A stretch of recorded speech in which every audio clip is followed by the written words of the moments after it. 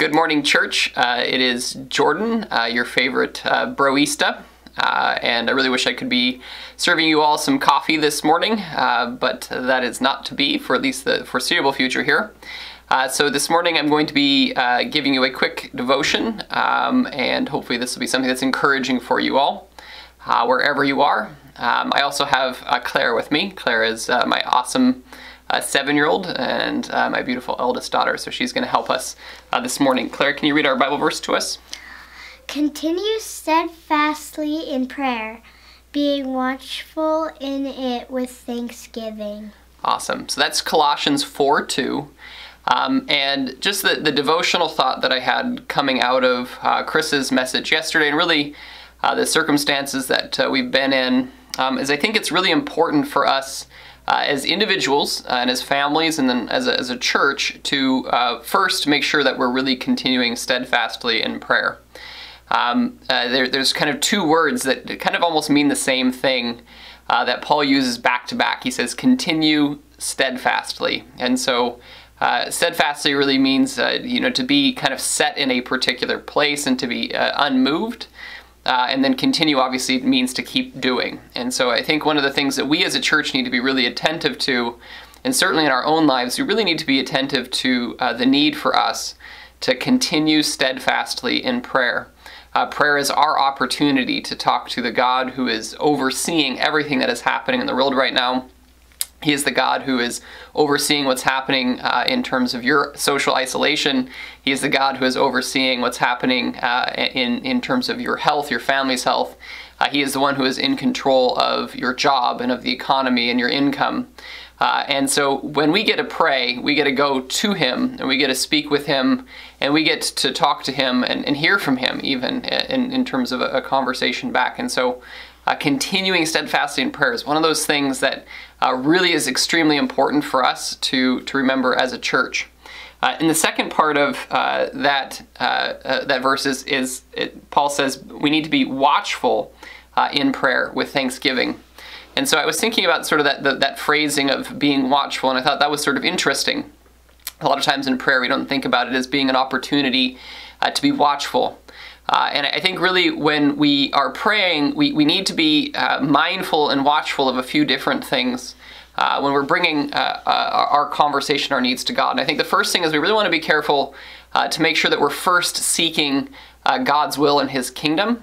in the Lord's Prayer, we say, Our Father who art in heaven, hallowed be thy name, thy kingdom come, thy will be done. And what we're really asking God to do is to do what God is going to do. Uh, but when we say that, when we kind of are watchful and we are, are, making sure that we're submitting our own desires and our own will uh, to God, uh, we are putting ourselves in a position where uh, we have the right attitude and the right mindset uh, when we're coming to Him in prayer.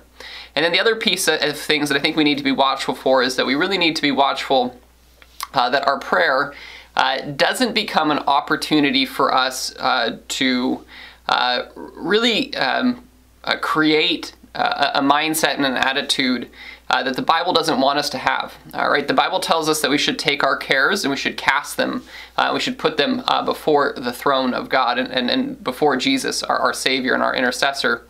And so sometimes, though, when we go into our, our prayer life, uh, we go in with uh, certain things that we want to hang on to. And so we come in with a, sort of a wrong mindset, and we're not really being careful to, to leave our concerns at the throne of God. Instead, we're kind of go, coming in and we really just want to vent and we want to, to voice those concerns, but really not willing to turn those concerns over to Him. And so I think we need to be watchful that we pray for things, that we really are uh, sort of exhausting uh, our, our, our, concerns and our anxieties and our fears and leaving them there uh, when we, we get up to, to go on from praying. And then finally, I think really important for us we need to be thankful. Uh, we are, are, in a, an odd time as a society. It's certainly very different from where we were two, two weeks ago. Uh, but we are also in a, a, period of time in history when, if you're going to be experiencing a pandemic, uh, it is good that it is today. And, and it is good that we can uh, do things like this. Uh, we had a, a, meeting yesterday with our, our church family uh, and did a little Zoom meeting and a little Zoom discussion, and that was fantastic to be able to connect with some of you that way. Um, I get to be home uh, with my amazing kids. uh, and we get to have some some some time together as well. And so, uh, be looking out for thankful things. I think that's again something we can be watchful for. Uh, be be looking for those things that we can be thankful for, uh, and expressing those in, in our prayer. Uh, because ultimately, uh, there is an opportunity for us to say thank you to a God who, who gives great gifts.